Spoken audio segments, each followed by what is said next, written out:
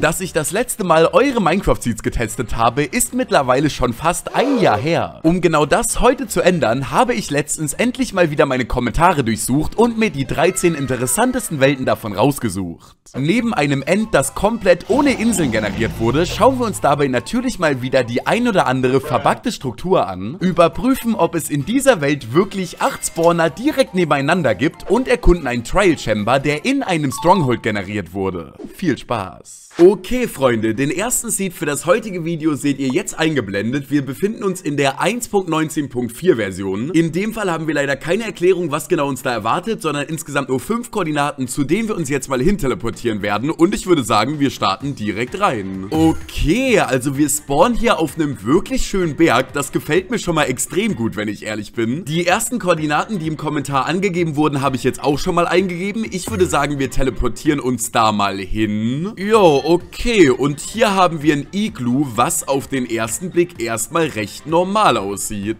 In dem ganzen Ding wurde eine Laterne generiert, was natürlich komisch ist, weil wir uns hier auch in einem Schneedorf befinden. Die zweiten Koordinaten sind echt nicht weit weg. Da handelt es sich hier auch um eine Struktur in diesem Dorf mit einer Kiste mit zwei Dias. An der dritten Stelle finden wir dann ein weiteres Igloo, was auch direkt in der Nähe ist. Das ist schon ein bisschen sehr weird. Oh, wartet mal, was mir gerade auffällt, die dritten Koordinaten sind dieselben wie die ersten. Es ist auch einfach dasselbe Iglo wie am Anfang. Gucken wir mal, ob wir vielleicht an der vierten Stelle irgendwas Neues haben. Okay, ein Outpost in der Nähe, davon noch ein Rune Portal. Und genau dieses befindet sich dann auch schon am letzten Spot, den er in den Kommentar geschrieben hat. Das heißt, wir haben hier sehr, sehr viele coole Strukturen in der näheren Umgebung. Ich bin mir ziemlich sicher, dass wir im Verlaufe des Videos noch krassere Sachen finden werden, aber für den Anfang ist das eigentlich erstmal ganz nett. Ach ja, und nicht, dass ihr euch wundert, warum meine Stimme so komisch ist. Ich war letztens mal wieder auf einem Konzert und habe viel zu viel mitgeschrien. Für den nächsten Seed befinden wir uns in der 1.20.4 Version, weil hier im Kommentar leider keine bestimmte Version dazugestanden hat. Die ganze Beschreibung hört sich allerdings trotzdem extrem vielversprechend an, da hier einfach im End keine Insel generiert werden soll. Wenn man es trotzdem irgendwie hinkriegt, den Drachen zu besiegen, dann soll das Portal super verpackt sein und genau das schauen wir uns jetzt mal an. Alright, ich bin wirklich extrem gespannt, ob das Ganze stimmt und was uns hier im End gleich erwarten wird. Seid ihr bereit?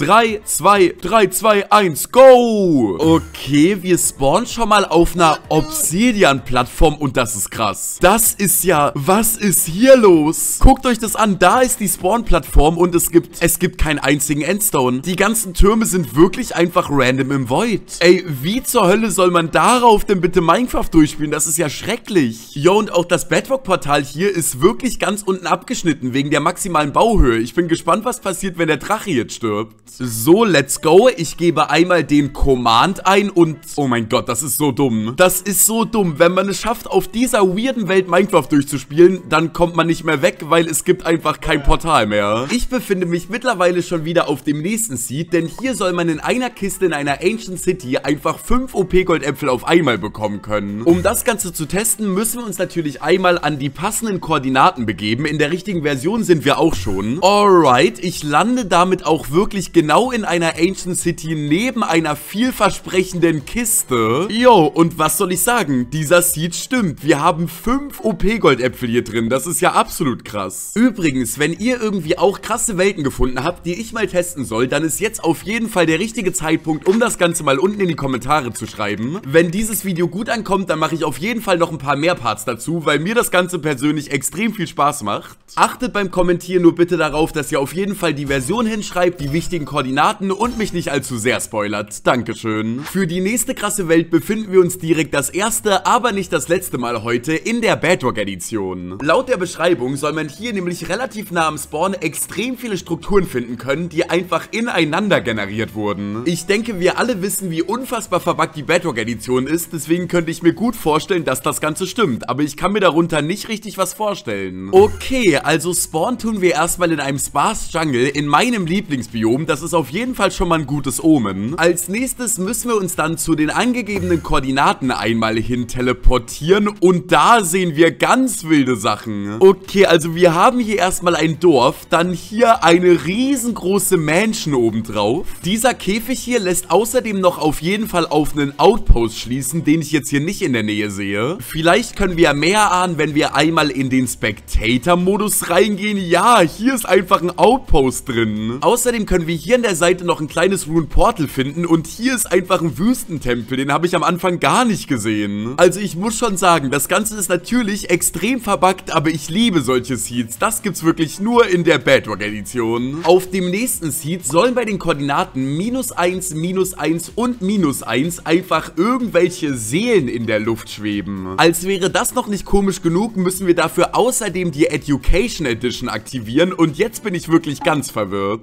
Also dann, der Seed ist eingegeben, die Education Edition ist aktiviert und wir starten rein in diese weirde Welt. Okay, also der Spawn sieht erstmal normal aus. Auch mit mir scheint noch alles absolut in Ordnung zu sein. Als nächstes teleportieren wir uns dann genau zu den Koordinaten, die gesagt wurden und wir landen einfach random unter der Erde. Okay, also ich habe wirklich absolut keine Ahnung, was der Kommentarersteller damit gemeint hat, aber ich kann hier keine Seelen erkennen. Generell ist hier irgendwie gar nichts in der Nähe. Wir sind halt einfach mitten in Blöcken gespawnt. Hier ist zwar eine kleine Höhle, aber das, das kann man ja auch nicht rein interpretieren. Ich bin ehrlich, ich bin ein bisschen traurig. Ich habe mir irgendwas richtig krasses, gruseliges gewünscht, aber das war eine kleine Enttäuschung. Im nächsten Kommentar steht als Beschreibung einfach nur Hochhaus, wo ich natürlich direkt an irgendeine verbackte Struktur denken muss. Ja, und ich denke, es ist absolut klar, dass so etwas natürlich in der Bedrock-Edition funktionieren soll. Wir starten rein. Okay, als Beschreibung stand direkt am Spawn und wenn ich das hier so sehe, glaube ich, dass wir auf jeden Fall richtig sind. Wir sind hier in der Wüste, haben ein kleines Wüstendorf und hier einen riesengroßen Wüstentempel. Also ehrlich, was zur Hölle ist da denn los? Hochhaus trifft es auf jeden Fall sehr, sehr gut.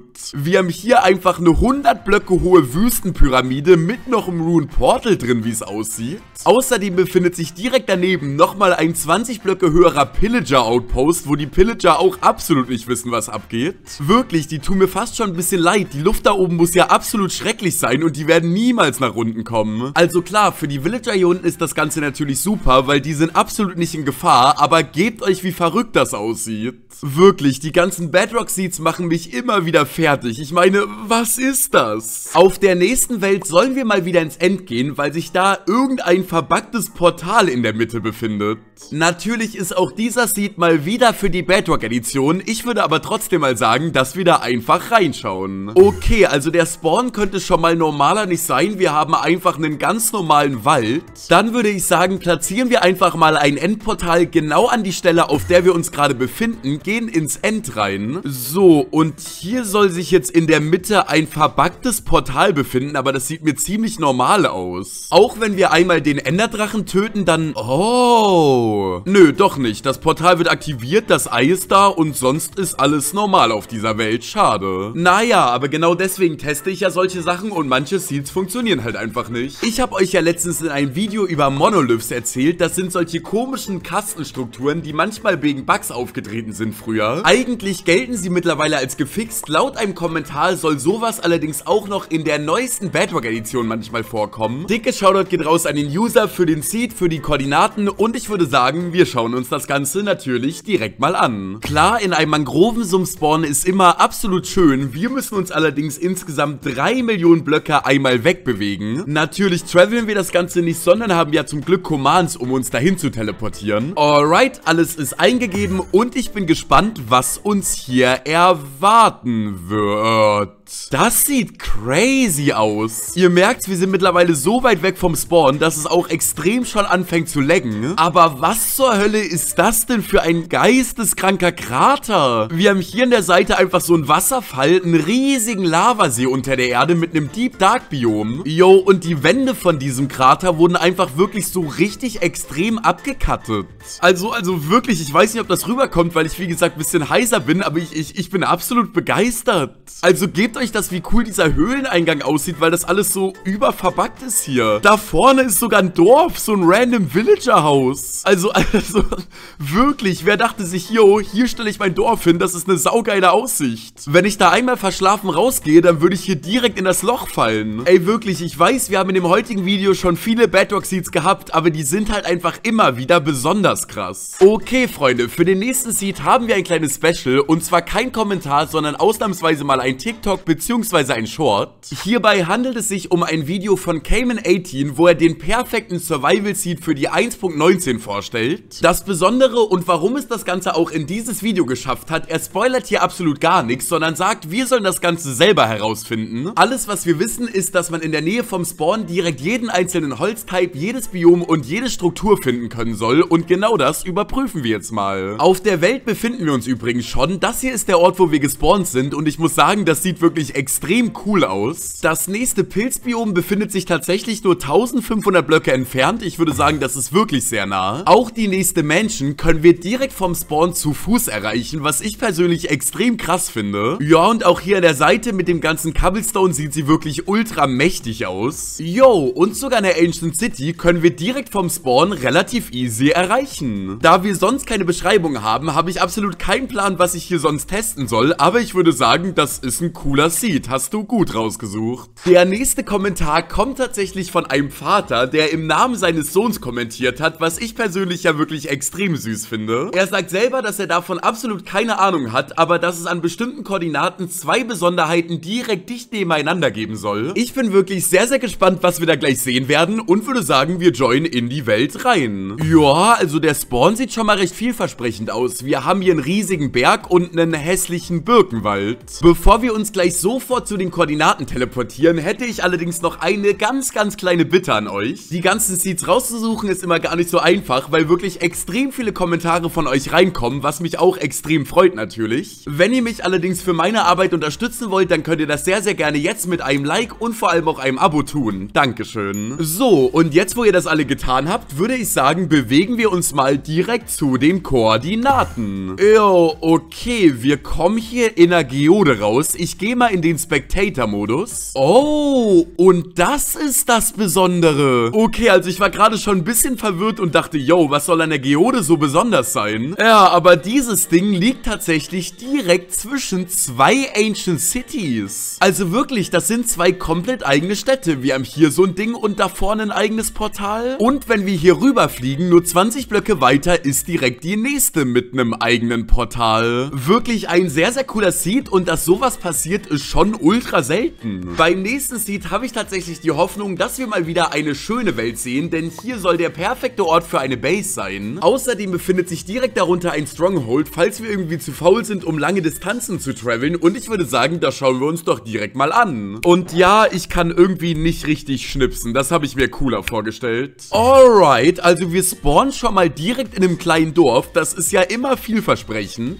Dann begeben wir uns als nächstes mal direkt zu den angegebenen Koordinaten. Boah, und das ist hübsch. Das ist richtig, richtig schön. Also wir haben hier einfach so einen riesigen See in einem Schnee- bzw. in einem Dark Forest Biom. Hier ist dann so eine kleine Wand drin und direkt dahinter beginnt der zweite See mit einer Lush Cave und einer super geilen Klippe. Das ganze Ding ist dann außerdem hier noch mit so Eisbergen umgeben, was mir auch super gut gefällt. Und wenn wir einmal unter die Erde gehen, dann haben wir direkt darunter wirklich den Stronghold. Ja, also ich muss sagen, das ist wirklich ein extrem guter Survival-Seed. Ich bin absolut begeistert, das ist wunderschön und dazu noch praktisch. Ganz im Gegensatz zu mir, ich bin eher hässlich und unnötig. Der nächste Seed ist tatsächlich von meinem guten Freund Tordi und der will den perfekten Spot für eine Monsterfarm gefunden haben. Naja gut, möglicherweise habe ich ihm gesagt, dass er das Ganze kommentieren soll, damit es auf dem Thumbnail cooler aussieht, aber vertraut mir, der Seed ist wirklich wild. Wenn wir uns hier nämlich einmal zu diesen Koordinaten begeben, dann fällt uns schon auf, wir befinden uns unter der Erde. Wenn wir dann allerdings in den Spectator-Modus gehen, sehen wir hier oben etwas Geisteskrankes. Wir haben hier einfach vier Spawner nebeneinander, aber glaubt mir, das war's noch nicht. Wenn wir uns nämlich hier einmal durch die Wand graben, dann sehen wir direkt weitere drei Spawner nebeneinander und ein paar Blöcke entfernt befindet sich da oben dann sogar noch der achte Spawner. Das krasse hier dran ist, dass wenn man sich am richtigen Spot befindet, man einfach all diese Spawner auf einmal aktivieren kann. Außerdem sind alle bis auf der Spin-Spawner hier Zombie-Spawner und wenn man den zerstört, hat man wirklich den perfekten Spot für eine Mob-Farm. Also wirklich, ich bin absolut begeistert, dass sowas passiert, ist wirklich extrem selten und deswegen musste ich den einfach mit in dieses Video nehmen. Es tut mir leid. Okay, Freunde, jetzt wird's wirklich ganz verrückt, denn der nächste Seed wurde mir einfach auf Twitter vorgeschlagen. Falls ihr es noch nicht wusstet, ich bin auch auf Twitter bzw. jetzt auf X relativ aktiv, also folgt mir da gerne mal rein. Laut der Beschreibung soll es bei diesem Seed einfach einen neuen Trial Chamber in einem Stronghold geben und das klingt doch mal ultra ultra interessant. Also dann, rein in die Snapshot-Welt und ich bin gespannt, ob das Ganze wirklich stimmt. Wir müssen uns einmal zu folgenden Koordinaten begeben. Yo, okay, und das ist wirklich crazy. Wir haben hier einfach ein Stronghold, um genau zu sein, den Portalraum. Und direkt daneben haben wir einfach Gänge, die in einen neuen Trial Chamber führen. Also wirklich, was ist denn das für ein geisteskranker Zufall und wie cool sieht das irgendwie auch aus? Also hier mit dem neuen Spawner, mit den ganz neuen Kupferblöcken und so und direkt daneben einfach der Stronghold. Wirklich ein absolut krasser Seed und damit übrigens auch der letzte für dieses Video. Wenn euch das Ganze gefallen hat, dann könnt ihr euch sehr, sehr gerne als nächstes den letzten Part anschauen, falls ihr das noch nicht getan habt. Auch der war wirklich absolut nice. Ansonsten würde ich sagen, sehen wir uns dann spätestens am Samstag zu einer Banger-Challenge wieder. Ich bedanke mich recht herzlich für all eure Einsendungen, natürlich fürs Zuschauen. Haut rein und ciao.